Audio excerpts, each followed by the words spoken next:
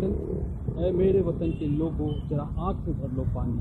जो शहीद हुए हैं उनकी जरा याद करो, कुर्बानी। नमस्कार, मैं इंद्र सिंह कुमार जायसवाल, आपका स्वागत करता हूँ।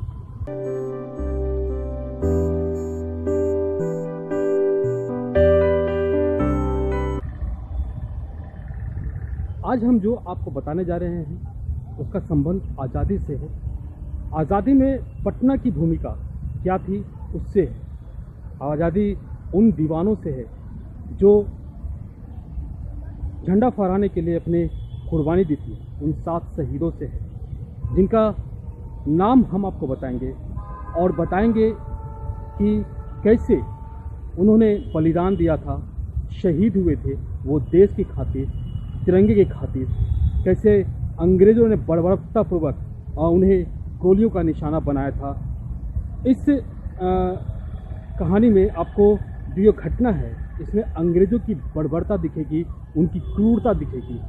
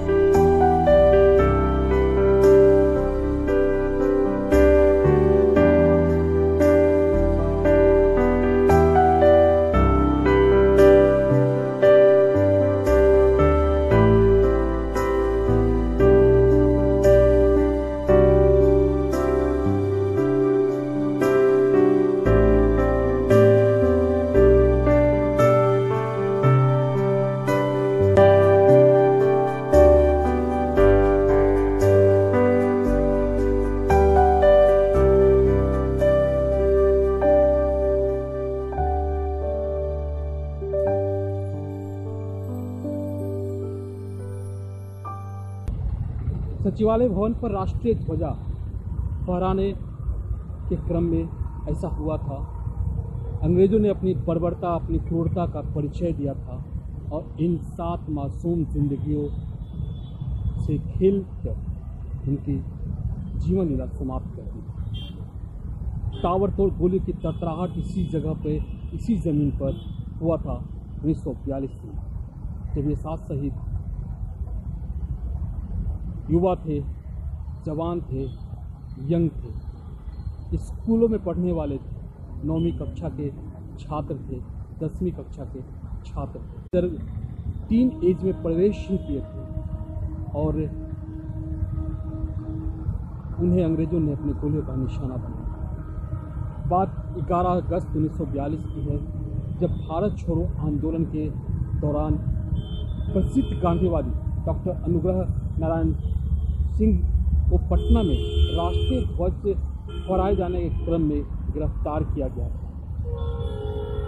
उसी का एक मज़बूत प्रतिक्रिया था इन सात युवाओं का। लेकिन अपने देश की खातिर, अपने तिरंगे की शान की खातिर, आन की खातिर, पान की खातिर उन्होंने बलिदान दिया था। अंग्रेज़ों ने निर्दयता का परिचय दिया था, बर्बरता का परिचय दिया था। आज उन्हें याद करने का दिन है। हम उनका नाम भी आपको बताते हैं कि वो कौन कौन थे।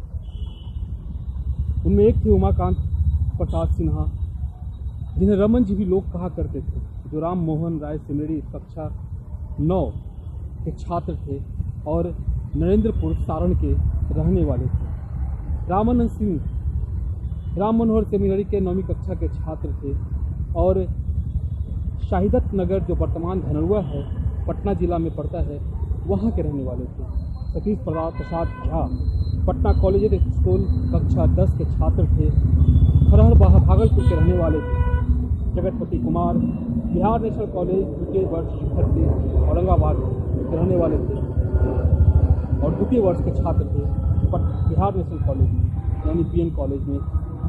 Devi Pada Chaudhary, Miller high English school कक्षा नौ के छात्र सिरहट, जमालपुर के रहने वाले थे। और राम गोविंद सिंह, उन्होंने उच्च अंग्रेज़ी स्कूल, मैट्रिक, वर्ग नौ, नौवीं के छात्र थे और नया गाँव, सारण के रहने वाले थे।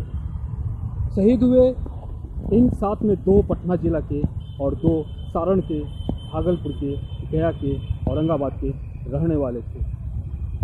इनकी शहादत को शत नमन हम पटना में रहते हैं, बिहार में रहते हैं। और पटना में रहने के बाद गर्व महसूस करते हैं कि हमारे अतीत में इन लोगों ने जो बलिदान दिया हमारे देश की आज़ादी की खातिर, अपने तिरंगे की खातिर, वो हमें गर्व महसूस कराता है, गौरवान्वित करता है। आज उन्हें नमन करने का दिन है, उन्हें याद करने का दिन है, उनके प्रति सच सच्ची श्रद्धांजलि देने का दिन है। भारत के इन वीर सपूतों को सत सत नमन। फिर मिलेंगे किसी और नए अपडेट के साथ। तब तक इंद्रसेन का प्यार भरा नमस्कार। जय भारत, जय बिहार।